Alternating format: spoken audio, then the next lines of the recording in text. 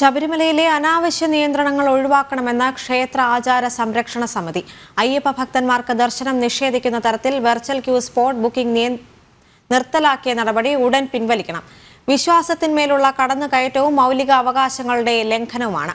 Virtual queue സംവിധാനം ഉപയോഗിച്ച് വിവിധ ഏജൻസികൾ ഭക്തരെ ചൂഷണം ചെയ്യുന്നത് തടയണം. ഭക്തർക്ക് വേണ്ടത്ര അടിസ്ഥാന സൗകര്യങ്ങൾ ഒരുക്കാൻ സർക്കാരും ദേവസ്വം ബോർഡും നടപടി സ്വീകരിക്കണമെന്നും ക്ഷേത്ര ആചാര സംരക്ഷണ സമിതി ആവശ്യപ്പെട്ടു.